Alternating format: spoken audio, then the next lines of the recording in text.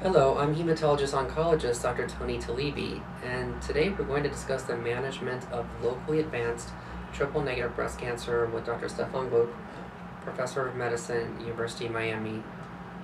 Dr. Gluck, as we discussed earlier uh, with triple negative breast cancer, let's talk about the treatment now. Uh, let's assume that the patient has had a biopsy and they've already gone undergone resection of the mass and they come to you. Can you can you please explain what happens next if they've had either lymph nodes that have been negative versus lymph nodes that have been positive? So we are assuming this patient has had definite surgery, as we call it. Yeah. Means the surgical procedures are done and they are all sufficient, which means the tumor was resected in total. There is no uh, margins that are affected with cancer, and the lymph node uh, in the axilla was also assessed uh, uh, correctly. So, for example, uh, central lymph nodes were done, and if they are negative, then it's enough. And if they were positive and bulky, then you resect. The surgeon would resect more. So this is done. So now I have the staging that we discussed before. So I will assign to the patient the, stage of the disease, T1, N1, M0, for example. And then we look at the receptors. And we discussed that the triple negative means estrogen, progesterone, and HER2 receptors are negative. And it impacts the treatment in a major way. Why? Because the estrogen progesterone receptor are those receptors that make the cancer cell sensitive to and important to estrogen. Meaning, if I use an anti estrogen treatment, it's good against cancer. But this patient with triple negative does not have these receptors, so I cannot use drugs such as tamoxifen, such as aromatase inhibitors. HER2 is another receptor, and we do have two targets or two medications we could use potentially, uh, and there are many more in, de- in development. But this patient has HER2 negative breast cancer, 1, 2, 3 negative. So I cannot use the trastuzumab or Herceptin or lapatinib or Tykerb drugs, type of drugs. So the only thing to improve survival and with this reduce recurrences substantially actually is to give her chemotherapy after such surgery. Mm-hmm. Now the second thing is if the tumor was big or if the tumor had many lymph nodes involved, then one would also add radiation. Or if the patient did not have mastectomy, just lumpectomy, radiation also would be added. What does it mean if a patient has micrometastatic disease of the lymph nodes? Yeah, micrometastases are a funny thing, and a funny because uh, we do not know what they mean. Uh, they are defined as mm, cancer cells that came from the breast to the axilla and are smaller than two millimeters by measurement. Mm-hmm. And why is it so unclear? Because these cells may have been dislocated by the surgery, going to the axilla, or they may have gone in there prior to surgery, which mean through metastases. So there's a number of pretty much seven, I believe, large randomized uh, retrospective analyses of such patients, and basically the majority is giving the impression, and I'm, as you see, I'm a little bit cautious. It's not 100% proof, but the impression is that micrometastatic disease in the axilla clinically means lymph node negative breast cancer. So Mhm. it's not necessarily a bad sign or worse sign than it was. Obviously, if the cancer is confined to the breast, stage one, it's much better than it's breast and axilla would be stage two, three. I see. Would you explain what Oncotype DX is and do you ever use that with triple negative breast Yes. cancer?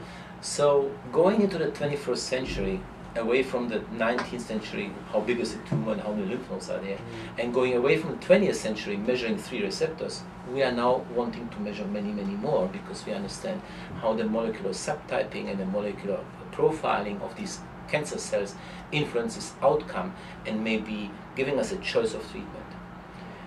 And there are about seven such tests available and another seven in development, but only two are really well uh, known. And one of them, Oncotype, is widely used. About 80 85% of all tests are Oncotype. The other 15% are Mama Print. Mhm. And they have one thing in common they look at the molecular sets and subsets and composition of the cancer cell. Oncotype is a test which is based mainly on estrogen and HER2 and some other molecular markers. Overall, there are 21. Six of them are so called housekeeping genes, and 15 of them are associated with Mhm. prognosis and predictive power. So, because triple negative, these receptors are negative, we cannot use oncotype, and we should not use oncotype uh, in triple negative breast cancer. MammaPrint looks a little bit different on the stuff. They identified the outcome first and then they looked into the molecular profiling. And it turns out that about 70, 70 of genes are associated with either good or bad prognosis. Mm-hmm. So in triple negative breast cancer, this test might give, in a small but still significant portion of women and men, uh, the prognosis that might be a reasonable and good prognosis. The majority in triple negative will not. And what if a patient does require chemotherapy? Are there any chemotherapies you favor over others? Um, there are probably 30 different type of chemotherapy regimens in early breast cancer. They have all been tested well and excessively. Uh, and they are all effective. Some a little bit more, some a little bit less. And I don't think that statistically speaking, hence clinically speaking, the differences are major. The difference is how I see them is based on toxicities. Mm-hmm. So the higher the risk of the cancer to return and kill the patient, the more toxic treatment I would accept for my patients to take. Mm-hmm. And if it's only intermediate or lower, but I still need to give chemotherapy, then I will look into lower toxicities type of profiles. And the major two toxicities that are associated with chemotherapy are cardiac problems, so inducing heart disease with chemo, and in very rare but not zero instances, inducing secondary leukemia. Mm-hmm. So, taken all together, if a treatment induces, let's say, 0.3% leukemia, but saves 30% of all women, then you see that risk benefit ratio is in favor of giving the chemo. But if the chemo induces 1% toxic problems Mhm. and Mhm. improves outcome in 1% of all, then obviously the benefit risk or risk benefit ratio is negative and I will not choose to. And should a patient's diet change while they're, they're undergoing chemotherapy? I think chemotherapy by itself is a very uh, tough uh, treatment. It's for a short period of time only, I must say. Short meaning anywhere between three and six months, rarely more in early breast cancer. So changing so much in the life of a woman is very difficult. Now, if she's determined and wants to, then I think the changes that we uh, alluded to before are appropriate. Can patients exercise or work while they're undergoing chemotherapy? Yeah, it's a very important thing. And repeat, uh, this is for early breast cancers, the Mhm. stage one, two, and three, not for stage four breast cancer.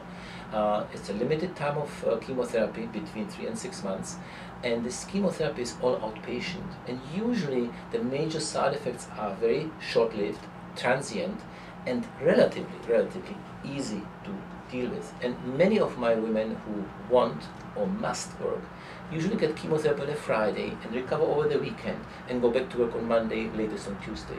And similarly, I tell them because exercise is good for your body and actually can reduce in the long run recurrences, don't stop exercise. And if you never started, start slow, Mhm. don't push, but still exercise even during chemotherapy. And what are your recommendations in terms of fertility preservation for either men or women undergoing chemotherapy? Yeah, that's a very, very uh, important topic. So let's suppose it's a woman, uh, and let's suppose she is young, menstruating, and does not have children, so she Mhm. wants to have children in the future. So first I discuss with her what are the chances that you actually will be here 10, 15, 20 years later for your children if you had any. Well, stage four is difficult and different, but in stage one and two, it's rather more easy because majority of our women are cured. In stage three, it's a little bit less, but still very good possible. So that's why we do do it. Uh, there are no safe ways to preserve fertility.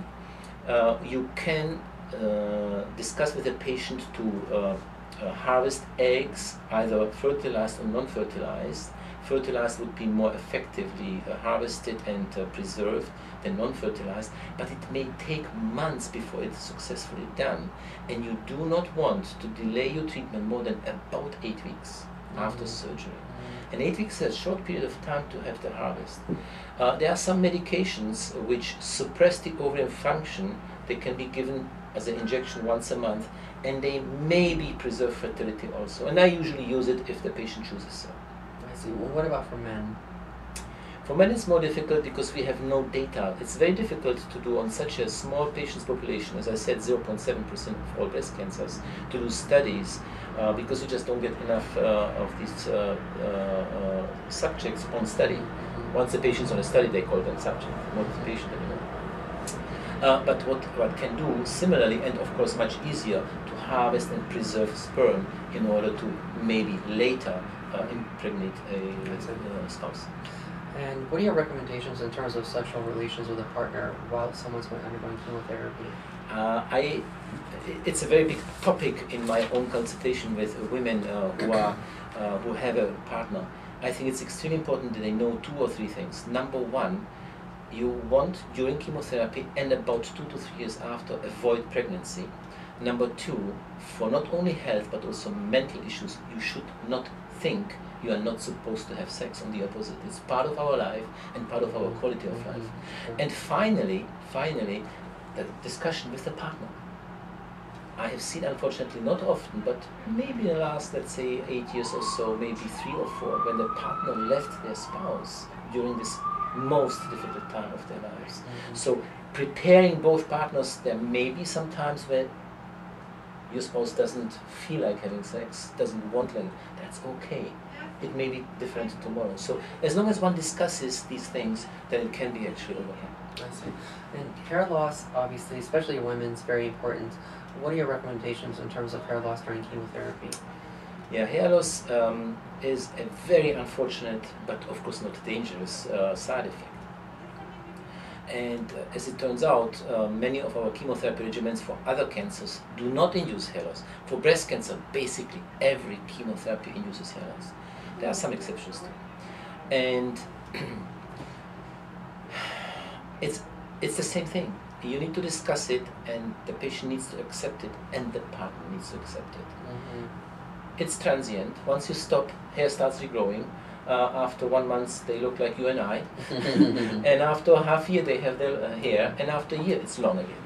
So it's transient, and it can be it can be very difficult.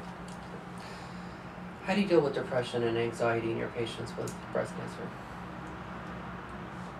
You know, I'm not saying I go the easy way out because I refer them to my colleagues that I believe are better at it than I, but I also deal with things. I ask them, patients talk about this with me, and often just talking about problems increases spirits, if I may say, uh, mood. Um, but if it's very difficult, then uh, with the help of a psychologist, uh, we prescribe for a short period of time antidepressants. But it's not very frequent in my own practice. And they can actually come off once it's And of course, What are your recommendations for children or spouses of patients undergoing treatment? yeah, same thing. You, these spouses and children, and actually parents often too, they also need some counseling. Uh, whether it's uh, with a primary oncologist or whether it's uh, with a professional uh, specializing in the field doesn't matter as long as it happens. Uh, and uh, it's very necessary, particularly susceptible to problems are teenagers, both girls and boys. Mm-hmm. I see. What usually occurs uh, with menstruation in women undergoing chemotherapy, and does it recover, and how do you know if it does or not? Yeah. So menstruation is of course a healthy part of a healthy woman uh, during uh, the uh, mature sexuality between the menarche and menopause. And chemotherapy, for whatever reason, induces most of the time uh, that the menstruation stops. It does not mean that the patient is in a menopause. Mm-hmm. And even more importantly, it does not mean she cannot get pregnant. Actually, she can occasionally. Mm-hmm. Uh, with the treatments that we are using, most of the patients lose menstruation for a period of time. Uh, usually it's lasting anywhere between, and listen now, this is very important for them, uh, between three months and three years. If after two to three years the menstruation doesn't return, then you can be sure that the patient is menopausal. And it does not help us to measure the menopausal hormone levels. Why not? Because today she may be low in her levels, but in three months it may go back. So the rule of the thumb is about 40 years, 50% regain menstruation and 50% do not. Mm-hmm. And the younger a woman is, the more likely she starts menstruating again. Well, what do you tell your patients regarding the odds of cure and the chances of recurrence in locally advanced triple negative breast cancer? Locally advanced breast cancer, particularly triple negative, is another type of breast cancer. Why? Because it cannot be easily removed by surgery. So what we need to do in order to make surgery possible, we'll give our treatments, and in triple negative we have only chemotherapy, remember. we give the chemotherapy prior to surgery. They call it, for the better or worse, neoadjuvant. Uh, and it just means that we give the same chemotherapy if we would give after, before. Turns out in clinical trials have been shown that it doesn't matter to long-term outcome, but it makes the surgery easier and better possible. Cleaning the margins, having less lymph nodes involved and so on. So that's a neoadjuvant chemotherapy prior to surgery. Uh, the choice of treatments may be somewhat different. Choice of drugs may be somewhat different in a neoadjuvant setting because uh, we actually see whether or not the chemo works, the Mhm. tumor shrinks. Mhm. In an adjuvant setting, when we give chemotherapy after surgery, what we discussed before, we don't see anything. We just give the treatment for the improvement in outcome and reducing recurrences. So the neoadjuvant does both, reducing the cancer prior to surgery and improve long-term outcomes. Well, thank you so much, Dr. Gluck. Uh, thank you. We hope this was educational. Next video, we will discuss the management of stage 4 triple negative breast cancer. Thank you.